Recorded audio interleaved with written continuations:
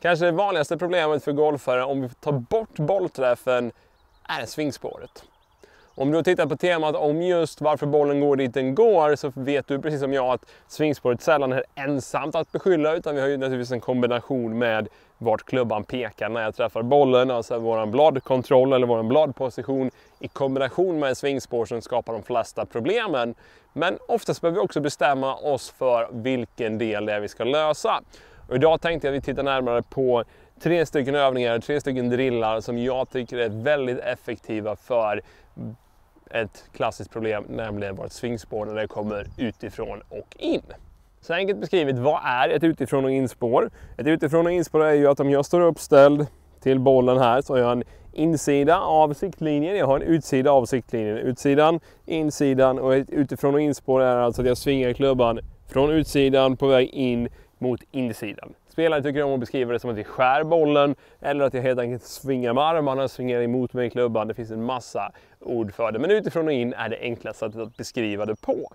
Och I dagens avsnitt tänkte jag att vi tittar närmare på mina tre favoritdrillar för att hjälpa dig som har problem att svinga utifrån och in. Och vi kommer framförallt titta närmare på vad som händer just vid våra träffögonblick för att göra det så, så tydligt som bara möjligt för att verkligen ge oss en bra feedback men också en väldigt, väldigt enkel feedback. Så det jag skulle vilja göra är alltså att få dig som spelare att sluta svinga utifrån och komma lite mer neutralt eller till och med lite inifrån när vi slår bollen. Till min hjälp idag har jag ett par saker som de flesta av oss har i bagen. En headcover, en siktpinne. Alternativt går det också att använda en vanlig klubba om vi skulle vilja göra det. Och naturligtvis bollarna jag har framför mig. Och den mest klassiska och kanske den mest effektiva varianten av någon övning överhuvudtaget för att hjälpa oss med mitt utifrån och inspår är kort och gott att använda sig av en headcover och blockera en av delarna som jag vill se till att min klubba inte tar, eller en av vägarna som jag vill att min klubba inte tar.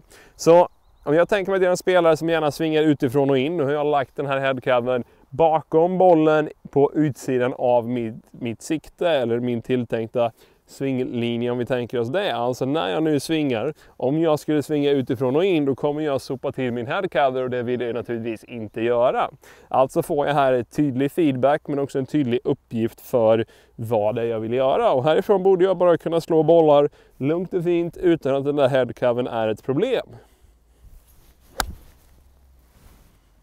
Och det är just vad jag vill att du gör. Det här är också, precis som alla andra drillar, någonting vi kan anpassa. Alltså nu har jag den här relativt nära. Ju längre ifrån den kommer, ju mer spelrum ger den oss, även om den kan vara irriterande nog där. Och jag ska, vill att du ska kunna känna att okay, headcoven är i vägen, den är lite jobbig att ha att göra med, men den är samtidigt inte omöjlig att hålla sig ifrån. Så som vanligt anpassar vi här vad det är vi gör, men om jag känner att jag har ett problem att svinga utifrån och in, headcoven där, återigen, jag ska kunna slå bollen jag har framför mig utan att behöva träffa headcovern.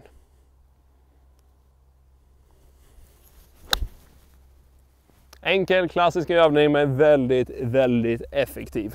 Det jag självklart också skulle kunna göra om jag inte vill använda min headcover eller liknande är att lägga en av ranchbollarna i vägen på ungefär samma ställe. Eller till och med lägga en rad med ranchbollar i vägen av, på samma ställe för att göra det ännu tydligare vad det är jag vill undvika. Vad som helst funkar egentligen bara. Det är någonting som är tydligt och visar och också någonting jag vill att du känner om det skulle vara så att du lyckas slå till. Övning nummer två bygger på lite liknande tankar men även också en visuell bild som hjälper oss väldigt många gånger. Jag använder siktpinnen till det här men det funkar alldeles utmärkt att ha en klubba istället. Om jag då tänker mig att jag har ett mål här någonstans som jag vill slå min boll emot. Om vi vet om att mitt svingspår, om det är för mycket utifrån och in, då är det alltså riktat på det här hållet. Så kommer mitt första mål just nu vara att placera den här siktpinnen på utsidan av bollen jag ska slå, rakt mot mitt mål. Jag kommer vilja ha ungefär halva siktpinnen på varje sida. Och härifrån kommer jag också sen bara vilja slå bollar med det visuella hjälpmedlet som den här pinnen faktiskt är. Att påminna mig om att okej, okay, jag vill när jag träffar bollen att klubban är på väg längs med pinnen, framåt och tillbaka. Jag vill inte komma utifrån, jag vill komma rakt igenom det här slagområdet och på så vis slå bollen rakare. Det som kan hända om jag härifrån dessutom svingar utifrån är ju självklart att jag kan slå till pinnen där nere, vilket jag också vill undvika. Så jag lägger upp pinnen eller klubban emot mitt mål och härifrån provar vi att slå.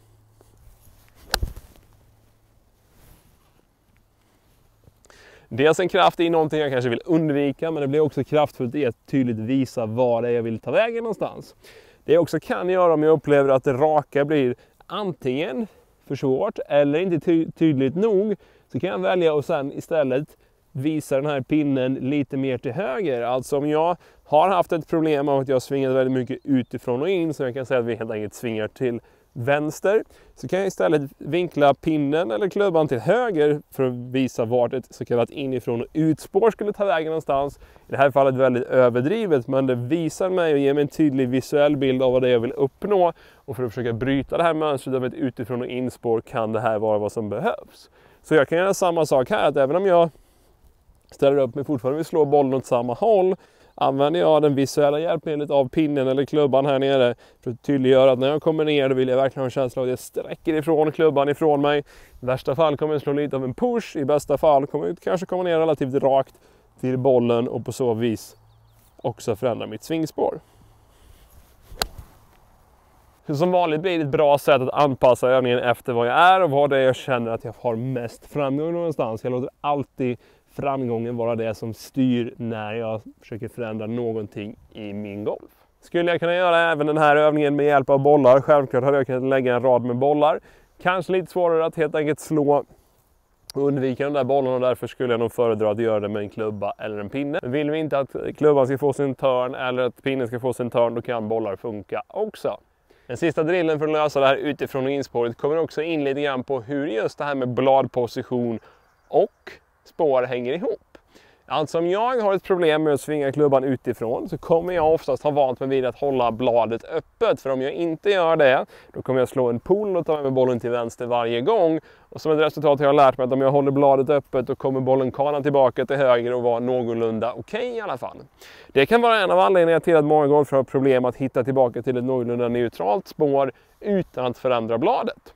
Och det är just därför nästa drill funkar så bra. Att istället för att jag nu greppar klubban helt rakt så kommer jag vilja sluta bladet och greppa klubban där. Alltså när jag nu ställer ner den här klubban till bollen så kommer ni se att klubban pekar väldigt långt till vänster men det är min normala uppställning. Och målet härifrån med den här drillen är kort och gott att försöka få bollen att gå rakt i startutförandet, för att göra det så enkelt som möjligt, kommer vi naturligtvis kunna anpassa hur mycket jag sluter bladet. För mig blir det en hel del. Nummer två, jag kan anpassa självklart hur stor sving jag vill göra. Helst vill jag bara börja med en halv sving och sen bygga vidare till en full sving. Men målet är som sagt att jag sluter klubban, greppar den sluten, och sen vill jag försöka skapa ett rakt golfslag med hjälp av det jag har kvar att jobba med, vilket är mitt spår. Alltså att om jag här vill slå bollen rakt, om jag svingar utifrån så kommer den bollen bara gå ännu mer till vänster för mig som högerspelare. Om jag däremot kan börja svinga lite mer inifrån och ut eller lite mer neutralt, då kan jag också se till att den här bollen går rakt eller till och med ibland till höger. Så vi greppar klubban slutet, svingar, försöker få den här bollen att gå så rakt som möjligt. Jag börjar med en halv, den var rak. Och därefter kan jag naturligtvis gå vidare, greppa klubban lite slutet, försöker slå ett fullt slag, få bollen att gå så rakt som bara möjligt. Ytterligare en bra drill att lägga till lösningarna för våra utifrån och inspår. Det går självklart att anpassa de här övningarna väldigt, väldigt mycket fram och tillbaka baserat på vad det är vi vill göra. De funkar lika bra på långa klubbor som korta klubbor för problemen är oftast de samma. Mitt tips är att göra dem i den här, i den här ordningen. Alltså vi börjar med hjälp av headcovern eller bollarna, sen går vi på med hjälp av klubba och siktpinne och avslutningsvis drilla med hjälp av hur vi placerar klubban. Alla tre är galet effektiva och jag lovar att de hjälper dig med ditt svingspår. Om du är medveten och gör din läxa så att säga så kommer det ge ett stort resultat i slutändan. Någonting som verkligen kan hjälpa dig att spela bättre golf. Jag hoppas att du tycker om det jag gör här på mxpgolf.se och jag hoppas att du vill hjälpa till att sprida mxpgolf.se till fler golfare där ute.